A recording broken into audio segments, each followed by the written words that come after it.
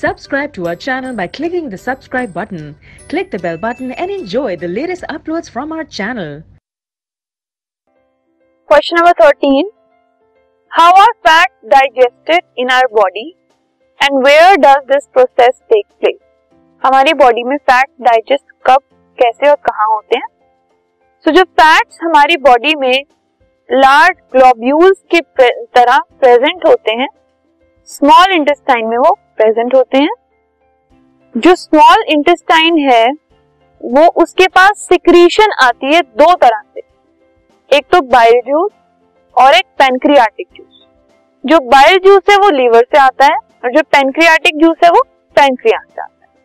सो so, intestine में small intestine में fats होते हैं और दो सिक्रीशन आई लिवर से और पेनक्रिया से। अब जो बाइल सॉल्ट होते हैं लिवर वाले, वो क्या करते हैं? बड़े फैट ग्लोब्यूल्स को तोड़ देते हैं छोटे छोटे ग्लोब्यूल्स ठीक है? अब जो पेनक्रियाटिक एंजाइम होते हैं, वो इन छोटे ग्लोब्यूल्स को इजीली उन पे एक्ट कर पाते हैं और उनको इमल्सिफाई कर पाते हैं मतलब उनको और ब्रेक डाउन कर देते हैं, जिसको इमल्सिफिकेशन ऑफ़ फैट्स बोलते हैं। सो so ये सब चीज़ें कहाँ होती हैं? Small intestine